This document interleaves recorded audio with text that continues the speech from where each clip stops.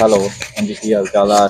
ਅੱਜ ਆਪਾਂ ਕਰਦੇ ਹਾਂਗੇ ਜੌਂਡੀਅਰ ਟਰੈਕਟਰ ਦਾ ਰਿਵਿਊ ਮਾਈਕ ਵੀ ਨਵਾਂ ਲਿਆਂਦਾ ਹੈਗਾ। ਸਬਸਕ੍ਰਾਈਬ ਕਰ ਦਿਓ ਚੈਨਲ ਨੂੰ।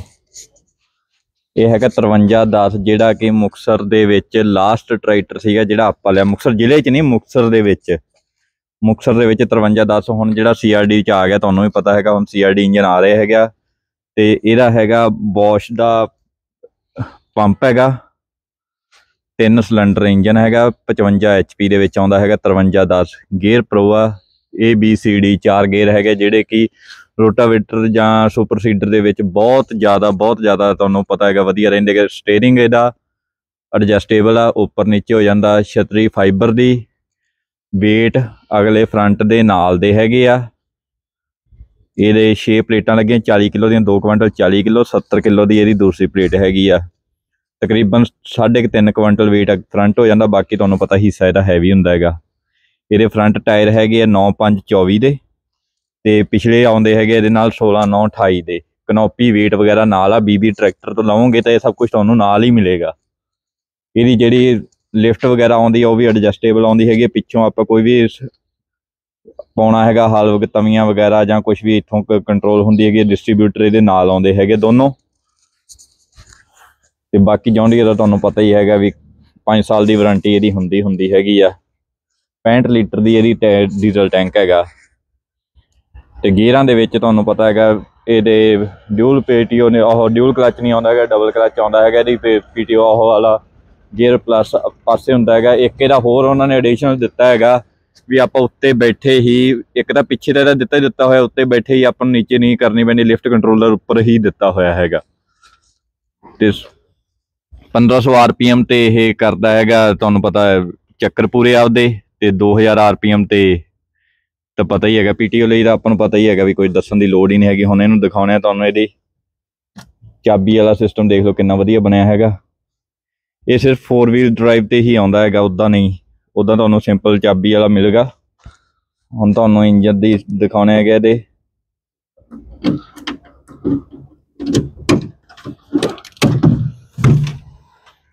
ਡਿਊਲ ਜੈਕ ਲੱਗਿਆ ਹੋਇਆ ਹੈਗਾ ਬਾਡੀ ਦੇ। ਬਾਡੀ 'ਚ ਡਿਊਲ ਜੈਕ ਹੈਗਾ ਟਰਬੋ ਦੇ ਨਾਲ ਆਉਂਦਾ ਹੈਗਾ ਕਿਉਂਕਿ 50 HP ਤੋਂ ਉੱਪਰ ਇਹਨਾਂ ਦੇ 50 HP ਹੋ ਗਿਆ 50 HP ਤੋਂ ਉੱਪਰ ਹੋ ਗਏ ਇਹਨਾਂ ਦੇ ਟਰਬੋ ਨਾਲ ਹੀ ਆਉਂਦਾ ਹੈਗਾ। ਡਿਊਲ ਇਹਦੇ ਪੰਪ ਆ ਗਿਆ ਹੈਗਾ ਲਿਫਟ ਪੰਪ ਤੇ ਸਟੀਅਰਿੰਗ ਪੰਪ ਇਹਦਾ, ਇਹਦੀ 2000 ਕੰਪੈਸਿਟੀ ਹੈਗੀ ਲਿਫਟ ਦੀ ਤੇ ਬਾਕੀ ਅਲੱਗ ਲੱਗਿਆ ਹੋਇਆ ਸਟੀਅਰਿੰਗ ਪੰਪ ਰੋਡ ਜਿਹੜੀ 4 ਵੀਲ ਵਾਲੀ ਪਾਈ ਹੈਗੀ ਆ ਉਹ ਤੁਰਨੀ- ਤੁਸੀਂ ਦੇਖ ਰਹੇ ਆ, ਉੱਪਰੋਂ ਕਵਰ ਆ ਪੂਰੀ ਕੁਝ ਵੀ ਅੜਨ ਉੜਨ ਦਾ, ਇਹਦੇ ਚ ਕੋਈ ਚਾਂਸ ਨਹੀਂ ਬਣਦਾ ਹੈਗਾ ਇਹਨਾਂ ਨੇ ਬਹੁਤ ਵਧੀਆ ਚੀਜ਼ ਦਿੱਤੀ ਹੈਗੀ ਆ, ਜਿਹੜੀ ਹੁਣ ਹਰੇਕ ਟਰੈਕਟਰ ਦੇ ਨਾਲ ਹੀ ਆ ਰਹੀ ਹੈ ਬਟ ਇਹਨਾਂ ਦੇ ਇਹ ਸਟੀਲ ਦੀ ਆਉਂਦੀ ਹੈਗੀ ਆ ਪਲਾਸਟਿਕ ਨਹੀਂ ਹੈਗਾ ਸਟੀਲ ਹੈਗਾ, ਦੇਖਣ ਨੂੰ ਪਲਾਸਟਿਕ ਲੱਗਦੀ ਆ।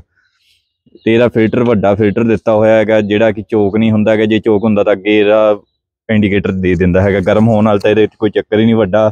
ਰੈਡੀਏਟਰ ਦਿੱਤਾ ਹੋਇਆ ਹੈਗਾ 3 ਸਿਲੰਡਰ ਆ ਗਿਆ, ਪੱਖਾ ਇਹਦਾ ਵੱਡਾ, ਪੂਰਾ ਤੇ ਵਿੱਚ ਟਰਬੋ ਆ ਗਈ ਹੈਗੀ ਇਹਦੇ।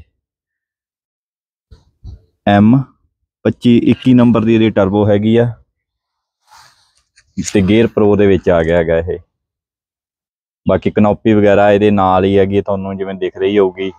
ਉਹ ਸਾਰਾ ਕੁਝ ਅਸੀਂ ਕੁਝ ਵੀ ਐਕਸਟਰਾ ਨਹੀਂ ਲਾਇਆ। ਬਾਕੀ ਹੁਣ ਤੁਹਾਨੂੰ ਇਸ ਦਾ ਪ੍ਰਾਈਸ ਵਗੈਰਾ ਦੱਸ ਦਿੰਨੇ ਹੈਗੇ ਆ। ਜਿਹੜਾ ਕਿ ਔਨ ਰੋਡ ਪ੍ਰਾਈਸ ਹੈਗਾ, ਹੁਣ ਤਾਂ ਤਕਰੀਬਨ ਬੰਦ ਹੋ ਗਏ ਹੈਗੇ 14.5 15 ਲੱਖ ਰੁਪਏ ਦਾ ਇਹਦਾ ਹੁਣ ਪ੍ਰਾਈਸ ਚੱਲ ਰਿਹਾ ਹੈਗਾ, ਜਿਹੜਾ ਕਿ ਸੀਆਰਡੀ ਦੇ ਵਿੱਚ ਆ ਰਿਹਾ ਹੈਗਾ। ਪਰ ਅਸੀਂ ਇਹਨੂੰ 12 ਲੱਖ ਦੇ ਵਿੱਚ ਪਰਚੇਸ ਕੀਤਾ ਹੈਗਾ, ਜੋ ਕਿ ਲਾਸਟ ਮੁਕਸਰ ਦੇ ਮੁਕਸਰ ਜ਼ਿਲ੍ਹੇ 'ਚ ਨਹੀਂ ਕਹਿ ਰਹੇ ਮੁਕਸਰ ਦੇ ਵਿੱਚ ਲਾਸਟ ਟਰੈਕਟਰ ਸੀਗਾ 5310 ਜਿਹੜਾ ਕਿ ਅਸੀਂ ਪਰਚੇਸ ਕੀਤਾ ਹੈਗਾ, ਹੁਣ ਇਸ ਤੋਂ ਬਾਅਦ ਮੁਕਸਰ ਦੇ ਵਿੱਚ 5310 ਨਿਊ ਨਹੀਂ ਮਿਲੇਗਾ ਇਸ ਇੰਜਨ 'ਚ। ਸੀਆਰਡੀ ਦੇ ਵਿੱਚ ਨਿਊ ਮਿਲਣਗੇ। 12 ਲੱਖ ਦੇ ਵਿੱਚ ਜੇ ਕਿਸੇ ਨੇ ਵੀ ਲੈਣਾ ਹੋਵੇ ਤਾਂ ਬੀਬੀ ਟਰੈਕਟਰ ਸੀਆਰਡੀ ਸੌਰੀ ਸੀਆਰਡੀ ਲੈ ਸਕਦੇ ਹੈਗੇ ਆ ਹੁਣ ਆਪਾਂ। ਹੁਣ 14 14.5 ਲੱਖ ਦਾ ਪ੍ਰਾਈਸ ਹੈਗਾ ਸੀ, ਤੇ ਇਹ ਇੰਜਨ 'ਚ 5310 ਬੰਦ ਹੋ ਚੁੱਕਿਆ ਹੈਗਾ।